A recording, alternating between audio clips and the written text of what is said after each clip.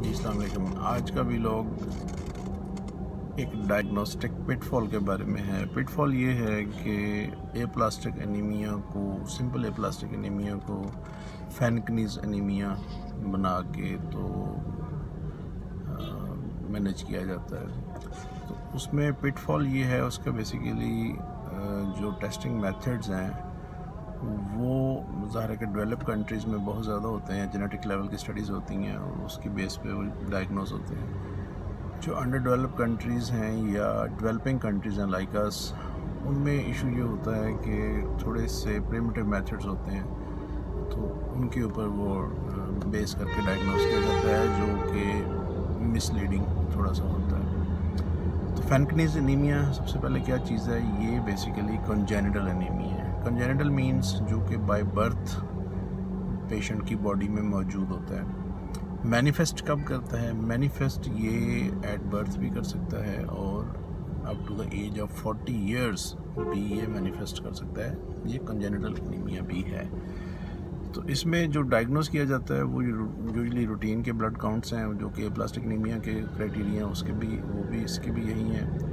Blood के to of three यानी कि thrombocytopenia less than thirty thousand और रेटिकुलोसाइट्स जो है less than one percent corrected और फोर्टी थाउज़ेंड जो हैं काउंटेड और zero point five into ten इसमें nine per litre A N C A N C से रदर ग्रेनलोसाइट काउंट उसमें ईओसिनोफिल्स और बेजोफिल्स भी आते हैं। तो ये उसके पेट्रोल ब्लड के क्राइटेरिया है। बोन मेरो क्राइटेरिया में सेलुलरिटी बोन मेरो की 25 टू 30 परसेंट से कम हो। तो वो सिंगल क्राइटेरिया है और पेट्रोल ब्लड के तीन में से दो क्राइटेरिया हों तो वो ए प्लास्टिक एनीमिया के क्राइटेरिया हैं। फैनकनीज एनीमिया में भी वही क्राइटेरिया है। आगे आ जाता है कि फैनकनीज एनीमिया को क्या चीज़ यूनिक करती है, वो इसकी जेनेटिक लिंकेज है। क्योंकि ये फैमिलीज़ में रन करता है। ये ऑटोसोमल रिसेसिव डिसऑर्डर है। सात जीन्स हैं, या आठ जीन्स हैं। तो उनसे ये होता है ऑटोसोमल रिसेसिव उसका इनहेरिटेंस है। और बेसिकली ये अलोन एनीमिया नहीं है।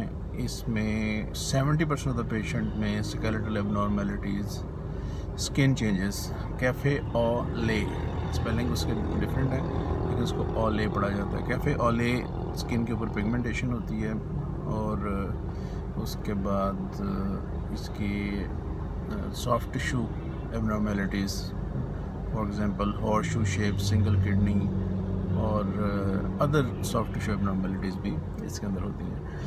तो ये आ गया उसके अंदर।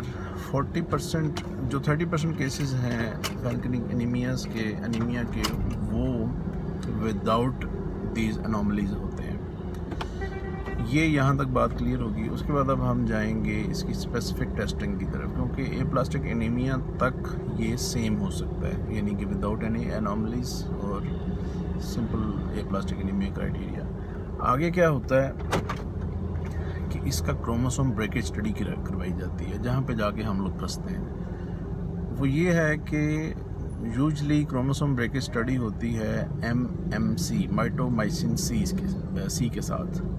जबकि फैनकिनीज एनीमिया के लिए D E B diepoxybutane cross linking agent है, उसके साथ करनी चाहिए। होता यह है कि एम एम सी के साथ जो क्रोमोसोम स्टडी है वो नॉर्मल आ जाती है जो ब्रेकेज ज़्यादा आ जाती है, पेशेंट बाज़ का प्लास्टिक नहीं भी होता और उसको वो फैनकनीज एनीमिया बना के साइड पे कर दिया जाता है। देखने की बात यह है कि वर्ल्ड वाइड फैनकनीज एनीमिया का जो इंसिडेंस है, वो 2000 केसेस हैं वर्ल्ड वाइड रिपोर्टेड उसमें से भी 1000 के करीब एश के नाजी जूज़ हैं जो कि केसेस होते हैं। क्योंकि उनमें आपस में शादियाँ बहुत ज़्यादा होती हैं, वो अपने ट्राइब से बाहर शादी नहीं करते। तो वो उस वजह से उनमें ये कंसनट्रेट किया गया तो बाकी रेस्ट ऑफ़ द वर्ल्ड साढ़े सात सात अरब पॉपुलेशन में एक हज़ार केसेज हैं। और अकेले हमारे रीजन में कोई चौदह, पंद्रह सौ केसेज जो है लोगों ने, उनको लेबल करके वो घूम रहे हैं। एज फैनकनीमिया यानी मैं खुद ये चीज़ें जो है वो देख चुका हूँ। ये चीज़ें रिपोर्टेड नहीं हैं, ये मेरी अपनी पर्सनल ऑब्जर्वेशन हैं। कोई बंदा इससे इख्तलाफ भी कर सकता है। तो वो डी बी से टेस्ट नहीं होता एम एम सी से टेस्ट होता है। एम से ब्रेकेज ज़्यादा आ जाती है। तो वो उसको फैनकनी फैनकनीज एनीमिया बना दिया जाता है। आगे अगली जो चीज़ है वो ये है कि अगर इसको हम रिट्रोस्पेक्टिवली देखें कि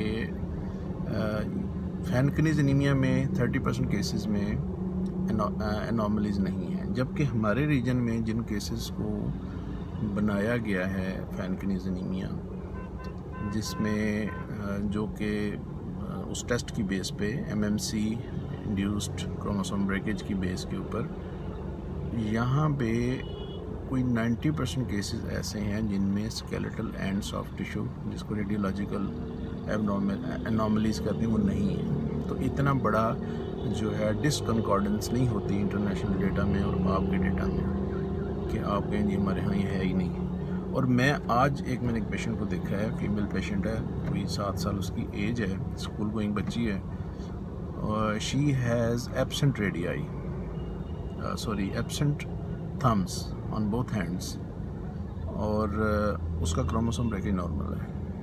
ठीक है? उसका हुआ है विद एम एम सी भी नॉर्मल है। तो इसका मतलब ये है कि there is something wrong in labelling the patient with fanconi anemia ये वीडियो हाईली टेक्निकल है हर बंदे को समझ नहीं आएगी ये ये फिजिशियंस के लिए और uh, स्पेशली पीडिटिशियंस और हेमाटोलॉजिस्ट हैं, उनके लिए ये इसकी बड़ी इम्पोर्टेंट इम्पोर्टेंस है। तो टेक होम मैसेज ये है कि जेनेटिक स्टडी के लिए जाएँ। अगर कहीं पे है अवेलेबल तो उसी को बेस करें। अदरवाइज़ उसको कोई बनाए अपना लिंक बाहर तो उसके साथ इसको मिला के रिपोर्ट